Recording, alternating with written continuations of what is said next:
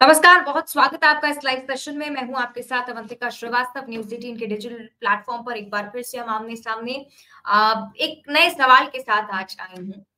कांग्रेस ने क्या राम मंदिर का न्यौथा ठुकरा कर अपने पैरों पर कुल्हाड़ी मार ली है? ये सवाल इसलिए, क्योंकि न सिर्फ़ राजनीतिक दृष्टिकोण से अगर आप देखें, बल्कि सामाजिक दृष्टिकोण से इस पूरे फैसले को कई ऐसे नेता हैं, कांग्रेस के ही नेता हैं, जो इसे गलत बता रहे हैं सीधे तौर पर। अगर कांग्रेस के नेताओं की आस्था भगवान राम से जुड़ी हुई है तो वो अपने स्तर पर ज़रूर जा सकते हैं, लेकिन कांग्रेस के अध्यक्ष के तौर पर जो बड़े नेता हैं, वो नहीं पहुँचेंगे। मल्लिकार्जुन खड़गे नहीं जा रहे हैं, सोनिया गांधी ने मना कर दी है, अधीर रंजन चौधरी भी प्राण प्रतिष्ठा कार्यक्रम में नहीं जाएँगे। खासतौर पर न्यौता उन्हें दिया गया था लेकिन सीधे तौर पर उनकी तरफ़ से कहा गया है कि प्राण प्रतिष्ठा का जो कार्यक्रम है भारतीय जनता पार्टी की तरफ़ से राजनीतिक तौर पर आयोजित किया जा रहा है और इसलिए इस कार्यक्रम में वो नहीं पहुँचेंगे। आप भी कमेंट बॉक्स में बताइएगा कि इस राय को आप किस प्रकार से देखते हैं, क्योंकि कांग्रेस पार्टी जो शुरुआत से ही उन बयानों का ज़िक्र करती आई है, जिसमें भारतीय जनता पार्टी एक चुनावी मुद्दे के तौर पर राम मंदिर को लेकर चल रही है। और दूसरी तरफ़, भारतीय जनता पार्टी जो शुरुआत से उन बयानों की याद दिला रही है कांग्रेस के जिसमें उन्होंने राम के अस्तित्व को ही नकार दिया। और एक रीजन पार्टी की तरफ़ से ये भी दिया जा रहा है कि राजनीतिकरण इस पूरे चीज़ का हो चुका है और इसलिए हम नहीं पहुँचेंगे। भले ही प्राण प्रतिष्ठा समारोह के बाद वो ज़रूर पहुँचे। अब एक खास बात इसमें यह भी है कि राम मंदिर के प्राण प्रतिष्ठा कार्यक्रम तो है ही लेकिन मंड जो आ, कुछ संत हैं उनकी तरफ़ से भी प्रतिक्रियाएँ सामने आई हैं। कई बार इस पर नाराज़गी ज़ाहिर करते हुए आए हैं।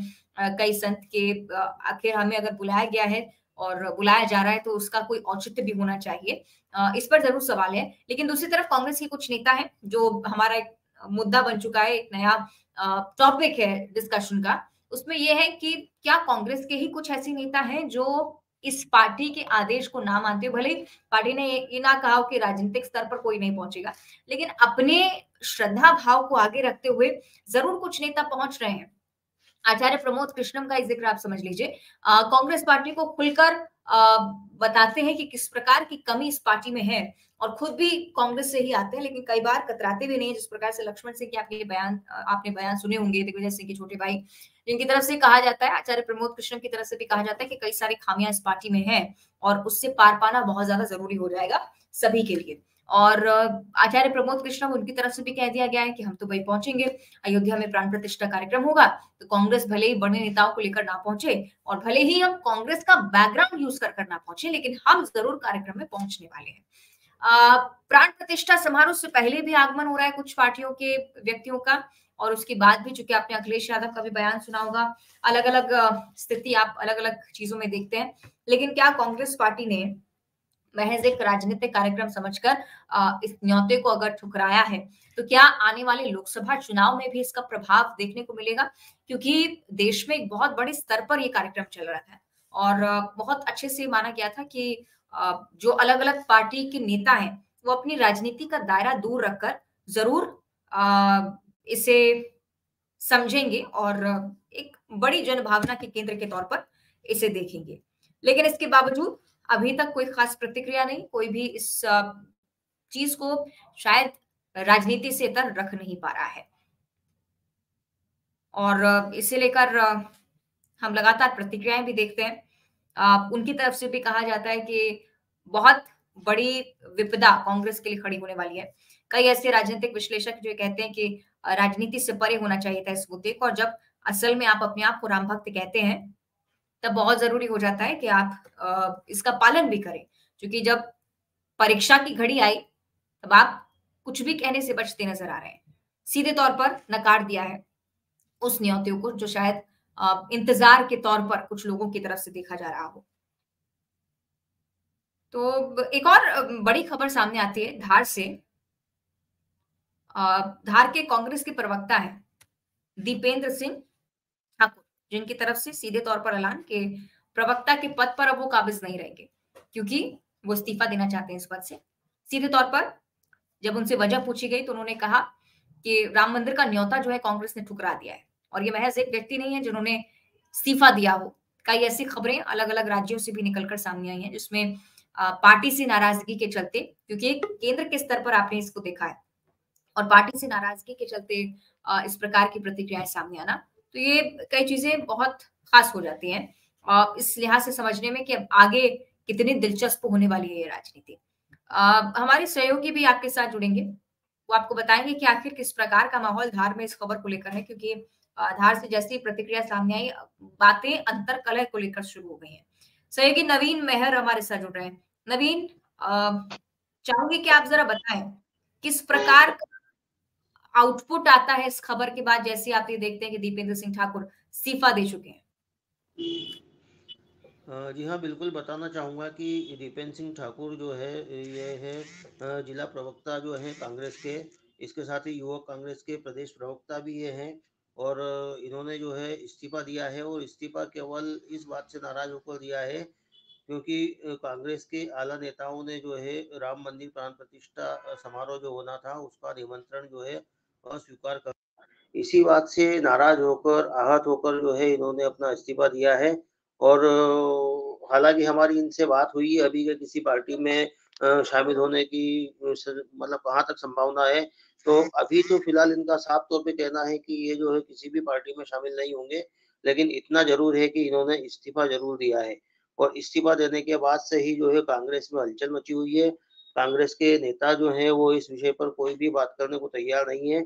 हमारी जिला अध्यक्ष कमल किशोर पाटीदार से भी इस बारे में बात हुई है, लेकिन कहीं कोई भी उनका इस बारे में कहीं से कोई रिप्लाई नहीं आया है और वो जो है इस बार कुछ भी बोलने को तैयार नहीं है। जी। और क्योंकि एक बड़े स्तर पर नवीन ये फैसला हमने देखा है, जब अध्यक्ष नहीं जाएँगे और कांग्रेस की तरफ़ से कोई व्यक्ति जाता है तो हर हर बार हो सकता है कि मुश्किलें खड़ी हों उनके लिए भी। आप ये समझते हैं कि पार्टी ने कार्यकर्ताओं को नाराज़ कर दिया इस बात के साथ ही?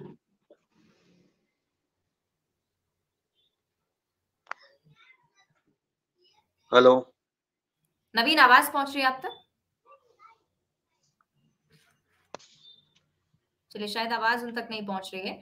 आ, लेकिन जिस प्रकार से आपने नवीन का जो पक्ष है वो भी सुना कि वो उनकी तरफ़ से कहा जा रहा है कि जैसे ही धार में खबर आई कि दीपेंद्र सिंह जो इस्तीफा दे रहे हैं आ, वो निश्चित तौर पर ही कोशिश करेंगे हम दीपेंद्र सिंह ठाकुर से भी बातचीत कर पाए क्योंकि प्रयासरत हैं हम इस चीज़ को लेकर, क्योंकि एक बहुत बड़ा मुद्दा अब ये बनता जा रहा है कि एक व्यक्ति जो कि कांग्रेस फेस जो प्रवक्ता पद है, उससे इस्तीफा दे देता है महज इस नाराज़गी को लेकर कि राम मंदिर के कार्यक्रम में कांग्रेस के बड़े नेता नहीं पहुँच रहे हैं। क्या राजनीति से परे नहीं होना चाहिए था इस कार्यक्रम को? ये एक बड़ा सवाल भी उठता है, क्योंकि कांग्रेस में जब आपने इस प्रकार के निर्णय लेते हुए लोगों को देखा है, वो भी गलती दोहराते हुए देखा है अक्सर तो आप ये देखेंगे कि निचले स्तर पर इसका प्रमाण भी इस रूप में देखने को मिलता है कि हर कार्यकर्ता इनसे खुश नहीं है। भारतीय जनता पार्टी की कुछ और राजनीति हो सकती है, हो सकता है कि उनकी रणनीति कुछ और हो, लेकिन क्या ऐसे समय पर जब पूरा देश राम मंदिर के प्राण प्रतिष्ठा कार्यक्रम, भगवान राम लला के पहुँचने को लेकर बहुत ज़्यादा उत्साहित है, उस दौरान क्या ज़रूरी था राजनीति करना?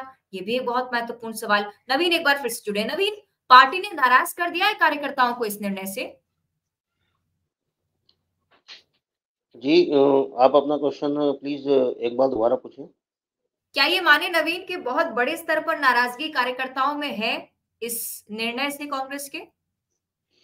जी हाँ बिल्कुल बताना चाहूँगा कि जिस प्रकार से जो है युवक कांग्रेस के प्रदेश प्रवक्ता दीपेंद्र सिंह ठाकुर ने जो है इस पूरे मामले में इस्तीफा दिया है तो यही समझा जा रहा है कि कांग्रेस कार्यकर्ताओं और पदाधिकारियों में नाराज़गी कहीं ना कहीं देखने को मिल रही है और जो है इतना बड़ा कदम इन्होंने उठाया है अपने सभी पदों से और पार्टी की प्राथमिक सदस्यता से भी इन्होंने जो है इस्तीफा दिया है। तो कहीं ना कहीं इनका साफ़ तौर पर कहना है, हमारी इनसे बात हुई है इनका साफ़ तौर पर कहना है कि जो है आहत ये अंदर से हुए हैं और आहत होकर जो है इन्होंने इतना बड़ा फैसला लिया है। पार्टी के आला नेता जो है वो राम मंदिर प्राण प्रतिष्ठा समारोह जो है उसमें जो है उनका निमंत्रण पत्र जो है उनके द्वारा अस्वीकार किया जाता है, जिससे ये काफ़ी आहत है और आहत होकर ही इन्होंने जो है ये फैसला लिया है। इनका साफ़ तौर पर कहना है कि राम जो है, राम वो सभी के हैं, वो किसी पार्टी विशेष के नहीं है, बीजेपी के नहीं है, कांग्रेस के नहीं है, बल्कि आम लोगों के हैं, सभी के हैं, भगवान श्री राम। और इसी के चलते जो है इन्होंने आहत होकर पार्टी से इस्तीफा दिया है। तो कहीं ना कहीं कहा जा सकता है कि पार्टी के कार्यकर्ताओं में जो है इस पूरे मैटर को लेकर नाराज़गी ज़रूर देखी जा रही है। जी हम्म, लोकसभा चुनाव पर असर देखते हैं क्या नवीन इसका जी हाँ, बिल्कुल दीपेन ठाकुर से हमारी इस पूरे मैटर पे बात हुई है। उनका ये कहना है कि जो है जिस प्रकार से माहौल बना है और जिस प्रकार से राम मंदिर प्राण प्रतिष्ठा का जो है कांग्रेस के नेता जो है विरोध कर रहे हैं, तो कहीं ना कहीं इसका असर जो है आगामी लोकसभा चुनाव में भी देखा जा सकता है। और दीपेन सिंह ठाकुर का तो यहाँ तक साफ़ तौर पे कहना था कि आने वाले चुनाव जो है लोकसभा चुनाव है उनमें जो है बीजेपी को 400 सीटें बोले उसकी संभावना है और कहीं ना कहीं जो है चुनाव पे इस चीज़ का जो है असर साफ़ तौर पर जो है दिखाई देगा और जो है कहीं ना कहीं इसको कांग्रेस को जो है इस पूरे उससे जो खामियाजा है जो भुगतना पड़ सकता है। जी। और दीपेंद्र सिंह ठाकुर के अलावा भी कोई कार्यकर्ता है क्या, जो लगता है कि आने वाले समय में इसी प्रकार से निर्णय के साथ सामने आएँगे? जी हाँ, बिल्कुल नाराज़गी तो जो है कांग्रेस कार्यकर्ताओं में साफ़ देखी गई है। वरना इतना बड़ा अ, फैसला जो यूँ ही कोई नहीं ले लेता। अ, दीपेन ठाकुर जो है इनके पास में काफ़ी पद है, 2-3 पद है और काफ़ी समय से जो है कांग्रेस में सक्रिय भी है सक्रिय कार्यकर्ता है सक्रिय नेता है बावजूद इसके इन्होंने इतना बड़ा जो है अ, फैसला लिया है, पार्टी से ही इस्तीफ़ा दे दिया है, सारे पदों से इस्तीफ़ा दे दिया है, प्राथमिक सदस्यता से भी इन्होंने इस्तीफ़ा दिया है। तो कहीं ना कहीं जो है जो नाराज़गी इनमें देखी गई है, उसी प्रकार की नाराज़गी जो है अन्य कार्यकर्ताओं में भी है, लेकिन अभी जो है। खुलकर कोई भी इस बारे में साफ़ तौर पे कह नहीं रहा है, लेकिन नाराज़गी तो बिल्कुल देखी जा रही है। ठीक है, हमारे साथ दीपेंद्र सिंह ठाकुर भी जुड़ गए हैं। बहुत शुक्रिया फ़िलहाल आपका नवीन ये जानकारी साझा करने के लिए। दीपेंद्र जी से बात ज़रूर करेंगे। दीपेंद्र जी, एक निर्णय सामने आता है जिसमें सीधे तौर पर आप इस्तीफ़ा देने की बात को स्वीकार करते हैं। अ, क्या वजह रही इसके पीछे? मूल मंत्र है, गोस्वामी तुलसीदास जी ने कहा है, राम विरोध न उबरसी शरण विष्णु अजीस। राम का विरोध यदि हो रहा है तो राम का विरोध कैसे बच सकता है सनातनी को? सारी चीज़ें शिरोधार्य निज धर्म सबसे पहले शिरोधार्य है। कल की जो घटनाक्रम हुई माननीय सोनिया गांधी जी ने, माननीय मल्लिकार्जुन खड़गे जी ने और माननीय चौधरी जी ने, जिस तरह से निमंत्रण को अस्वीकार करके भगवान श्री राम का अपमान किया है तो और भगवान राम का विरोध किया है, ऐसा राम के विरोधी को बिल्कुल भी बचा पाना संभव नहीं है। आपको लगता है अपनी विचारधारा को लेकर बहुत ज़्यादा कंफ्यूज हो चुकी है कांग्रेस पार्टी? पहले कहते हैं कि भगवान राम के भक्त हैं उसके बाद न्योता स्वीकार नहीं करते। नहीं देखिए कांग्रेस पार्टी की विचारधारा अभी तक मैं कांग्रेस पार्टी की विचारधारा से सहमत था उसमें था पंद्रह साल से काम करा सर्वधर्म संभाव वाली रही है। और सर्वधर्म संभाव में सभी के धर्मों का सम्मान रहा है सभी के ईश्वर को नमन करने का रहा है। परंतु क्या मालूम, क्या कहते हैं ना, रामायण में एक बात लिखी है कि जाको प्रभु दारुण दुख दे बाकी मती पहले हर ले तो हो सकता है कि उनकी मति प्रभु ने ही हर ली हो, जो वो आज इस तरह के वक्तव्य और शोष दे रहे हैं और इस तरह की बात कर रहे हो राम का विरोध कर रहे हैं। राम संपूर्ण विश्व के देवता है। राम को संपूर्ण कोटि कोटि विश्व का हर जन आज बाईस जनवरी का प्राण प्रतिष्ठा महोत्सव मनाने के लिए आतुर है और वहाँ कांग्रेस के नेता यदि ऐसी बात करेंगे जन भावनाओं के साथ खिलवाड़ करेंगे, किसी की आस्था के साथ खिलवाड़ करेंगे, किसी के धर्म के ऊपर आक्षेप करेंगे और किसी के ईश्वर का विरोध करेंगे तो कैसे आम जनता कांग्रेस को बचा पाएगी या कांग्रेस का कोई कोई भी व्यक्ति इस चीज़ को सहन कर पाएगा और जो निज धर्म सनातन की बात करता हो, सनातन का उपासक हो, राम का भक्त हो, हनुमान का सेवक हो, वो तो कभी किसी कीमत पे इस चीज़ को नहीं बचा पाएगा। बिल्कुल ठीक कह रहे हैं कि राजनीति से आस्था को ऊपर ही रखना चाहिए था। दीपेंद्र जी, आखिरी सवाल आपसे। लोकसभा चुनाव पर इसका असर आप देखेंगे क्या? क्या भारतीय जनता पार्टी को फ़ायदा होते देखेंगे क्या इसके बाद? देखिए, लोकसभा चुनाव के ऊपर तो असर वैसे मैं नहीं मानता, मेरी व्यक्तिगत अभी तो यही राय है कि राम किसी भी पार्टी की बपोती नहीं होना चाहिए। राम आस्था का विषय, राम कोटि कोटि के हृदय में बसने वाला एक मंत्र है कि कहा गया है कि कलयुग केवल नाम अदारा सुमेरी सुमेरी नर उतर ही पा रहा तो सिर्फ़ नाम को, राम को जपने का काम करें, उसको बजने का काम करें, उसको कोई भी पार्टी वोट के लिए यूज़ करने का काम नहीं करे मैं यही कहना चाहूँगा। ठीक है चलिए। बहुत शुक्रिया आपका इस बातचीत के लिए दीपेंद्र जी। बहुत शुक्रिया जुड़ने के लिए। ये थे दीपेंद्र सिंह ठाकुर जिन्हें आपने सुना। साफ़ तौर पर कह रहे थे कि विचारधारा जो कांग्रेस पार्टी की है उसे समझने का प्रयास खुद ही पार्टी को करना चाहिए और राजनीति से ऊपर आस्था होनी चाहिए उनकी तरफ़ से कहा गया अभी देखने वाली बात कि आगे किस प्रकार के परिवर्तन आप पार्टी में देखते हैं। चलिए, इसी के साथ हमारे इस लाइव सेशन में इतना ही। इस डिजिटल प्लेटफॉर्म में फ़िलहाल इस डिस्कशन को यही अंत कर रहे हैं, लेकिन कुछ और मुद्दे लेकर ज़रूर आपके पास आऊँगी। उस पर हम बातचीत करेंगे। फ़िलहाल बहुत शुक्रिया। आप बनी रहेगा न्यूज़ एटीन के साथ।